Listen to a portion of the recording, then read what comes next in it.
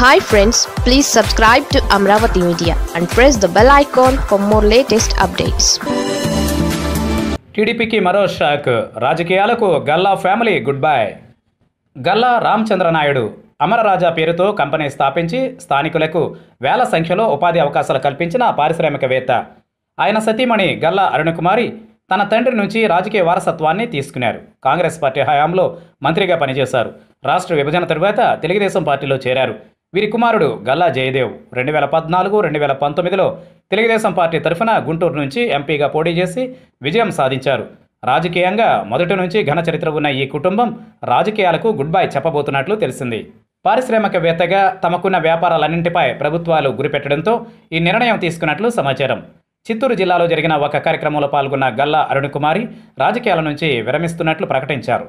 మొదటి నుంచి తమకు అండగా ఉన్న అనుచరులంతా తమకిష్టం వచ్చిన పార్టీలో చేరవచ్చునని అన్నారు. అరుణకుమారి ప్రకటనను బట్టి రాబోయే ఎన్నికలలో గల్లా జయదేవ్ గుంటూరు ఎంపీగా పోటీ చేయడం కూడా కష్టమనే ప్రచారం నడుస్తోంది.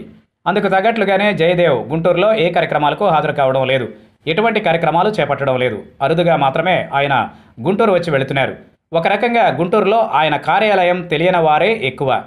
రెండు వేల పద్నాలుగులో చంద్రగిరి నుంచి పోటీ చేసిన అరుణ్ కుమారి ఓటమి పాలయ్యారు రెండు వేల పంతొమ్మిది ఎన్నికలకు ముందుగానే నియోజకవర్గ బాధ్యతల నుంచి తప్పుకున్నారు. తెలుగుదేశం పార్టీ పాలిట్ బ్యూరో సభ్యురాలిగా కూడా రాజీనామా చేశారు. రాజకీయ ప్రయాణం ముగించి సేవా ప్రయాణం మొదలుపెట్టబోతున్నామని అరుణ్ కుమారి తెలిపారు. గల్లా జయదేవ్ కొన్నాళ్ళ క్రితం వరకు రాజధాని నిరసన కార్యక్రమాల్లో పార్టీ కార్యక్రమాల్లో చురుగ్గా పాల్గొన్నారు. క్రమేణా ఆయన ప్రాధాన్యం తగ్గిపోయింది. తమకు పునాదిగా ఉన్న వ్యాపార కార్యకలాపాలపై రాజకీయం పంజా విసరడంతో వారు ఈ నిర్ణయం తీసుకున్నట్లు తెలుస్తోంది. భవిష్యత్తులో జయదేవ్ చంద్రగిరి ఎమ్మెల్యేగా పోటీ చేసే అవకాశం ఉంది. అయితే అప్పటి పరిస్థితులను బట్టి నిర్ణయం తీసుకుంటారని ఆయన అనుచరులు చెబుతున్నారు.